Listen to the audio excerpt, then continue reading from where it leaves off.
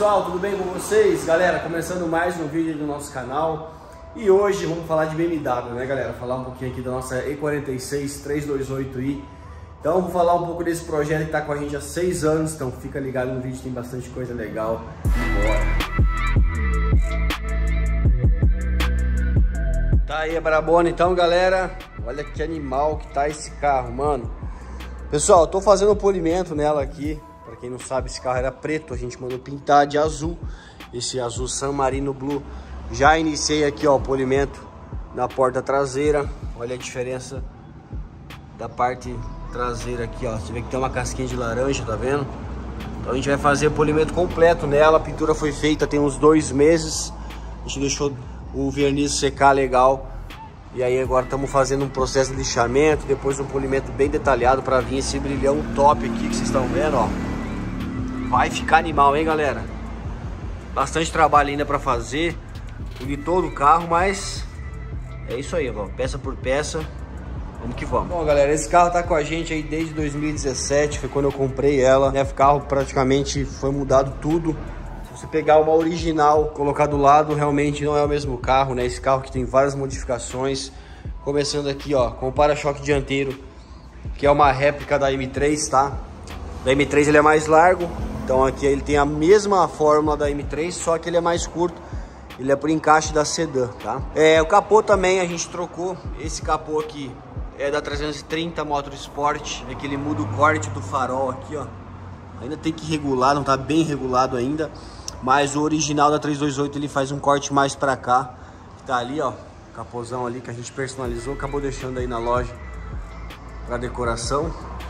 E esse capô aqui, ele muda a grade, né? E ele muda essa linha também, ó. Que ela é mais aberta, então acaba dando uma frente mais agressiva, ó. Eu acabei decidindo trocar também para deixar ela mais diferenciada ainda. E vários detalhes, né? Aqui tem o Engine Eyes, tem um projetor também que a gente colocou que não tinha. Né? Os piscas fumê. Ah, tem bastante coisa, galera. Vamos que vamos, mostrando para vocês aí. Essa parte traseira aqui, galera, deu o que falar, hein? Muita gente já me perguntou sobre esse acabamento aqui do para-choque, o que eu estou usando aqui, se é para-choque M3, se não é. O que acontece, galera? Esse para-choque traseiro é da 330 também, Motor Sport. O 328 ele é diferente, tá? Ele é um para-choque mais simples. Então eu comprei o para-choque da 330 Motor Sport e essa peça aqui, galera, a gente, a gente mandou fazer de fibra, né? Uma empresa lá da Rússia, que os caras fabricam um body kit. Eles fizeram o, de, o design da M3 CSL com o encaixe para o para-choque da Sedan 330, né? Ele é o mesmo desenho, a diferença é que a M3 ele tem um corte quadrado aqui, né? Ó. Ele faz um corte quadrado, então ele é bem maior.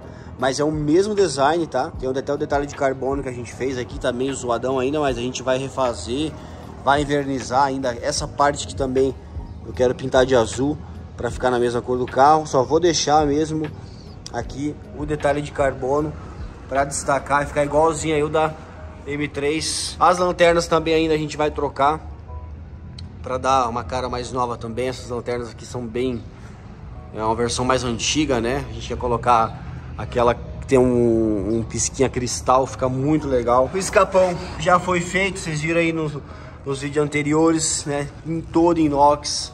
Os coletores também inox. Vamos aqui pro interior, galera. Deixa eu mostrar para vocês. Ó. O carro tá bem sujão ainda.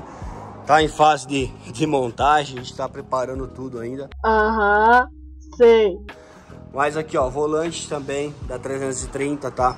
Da 328, aquele volantão quadradão mais clássico, mais simplesão. Esse já aqui é uma pegada mais esportiva. A gente também fez aqui, ó, fibra de carbono. Todos os detalhes do forro de porta foi colocado fibra de carbono, ficou bem legal. O painel, galera, também a gente tá usando o painel da M3, tá? Muito top esse painel aqui também. Os bancos também foram trocados. Também tem que ajustar ainda o cinto, tudo. Bastante detalhe para acertar. Esses bancos aqui também a gente portou, galera. Os bancão concha. Muito bonito esse design. Lembra muito os bancos da Audi RS, aqueles Recaro Sport, né? Banco traseiro a gente vai mandar fazer o couro ainda, pra ficar igual os da frente. Tetão aqui também, ó. A gente mandou trocar o tecido, era bege na época, a gente mandou fazer preto.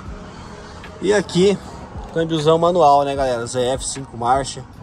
Foi uma das modificações mais top que a gente fez no carro. Gastamos uma grana, mas, cara, outro carro realmente. Ficou uma pegada muito massa para andar. Olha aqui os pedais, galera, como é que ficou. O sistema ficou tudo original. A gente comprou o kit completo, né? Veio pedais, veio embreagem, veio tudo. Foi só montar. E aí a gente mandou fazer embreagem cerâmica para ficar bem preciso. O carro tá bem animal, galera. É, como toda BMW velha, tem que ter isso aqui, né, galera? Ó, esse, esse acabamento aqui é o mais top do carro. Ih, rapaz. Mas logo, logo chegam os amortecedores novos aí do capô, pra gente não precisar mais ficar sofrendo aí com esses canos, né? Então tá aí, galera, ó, o motorzão também foi trocado, tá? Motor parcial, original é o 3. é o 2.8, né? 6 cilindros em linha e a gente trocou pelo 3.0 da 330, né, o M54. Mas as outras partes aqui são todas originais, 328, coletor, é, MAF tudo mais. É tudo original 328, tá? A gente só trocou mesmo o motor que a gente teve um probleminha aí, cabeçote tudo mais. Decidi pegar um motor novo aí, montar pronto. Então a gente acabou conseguindo um 3.0 e mandamos para dentro 3.0 mesmo. Ficou top, velho. Ficou muito legal mesmo. Aqui o takezinho que a gente fez ainda. Tem que acertar alguns detalhes também. Aqui o defletor a gente vai mandar fazer em inox, algum outro acabamento. Esse acabamento aqui, ele não aguentou o calor, é um material de PVC. Acabou não resistindo muito calor aí. Mas, cara, tá muito legal o carro, galera. Carro aí de longa data, a gente trabalhando em cima. Olha os coletores aqui. Inox também dimensionado.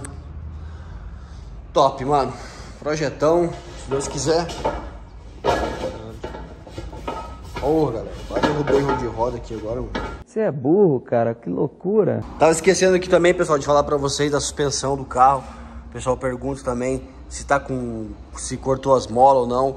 Aqui assim, a gente tá usando os amortecedores da Bilstein, tá? Foi trocado também os quatro amortecedores. Estou usando as molas esportivas da ABEC. Não sei agora certinho o modelo, né? Porque eu sei que tem vários modelos, mas é uma mola bem legal. Parte de embuchamento também da suspensão foi trocada, bandeja. A gente comprou um kit completão mesmo. Trocamos também os quatro cubos de roda com os rolamentos. Realmente é um carro assim, galera, um carro bem íntegro né? A gente pegou aí, foi fazendo detalhe por detalhe, muita grana em cima. Não é fácil montar um projeto como esse aqui. Vai grana, vai tempo, né? Paciência. Mas a gente está nos finais.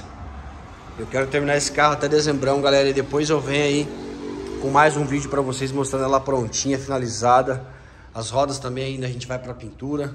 O carro vai ficar bem animal, galera. Braba demais, hein? Olha essa traseira, galera muito top, velho. Muito top. Se Deus quiser, galera, até final desse ano eu quero terminar todos esses detalhes para poder começar a levar o carro para os eventos, né? Tem algumas coisas ainda que eu preciso fazer.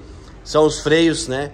Os freios são originais, eu pretendo colocar uns freios de cerâmica ou até mesmo do A330 que tem os discos maiores, porque esse freio aqui realmente para track day ele não aguenta muito. Ele esquenta muito e não aguenta pressão, né? Então, é uma coisa ainda que eu, que eu pretendo fazer para finalizar aí esse projeto, galera.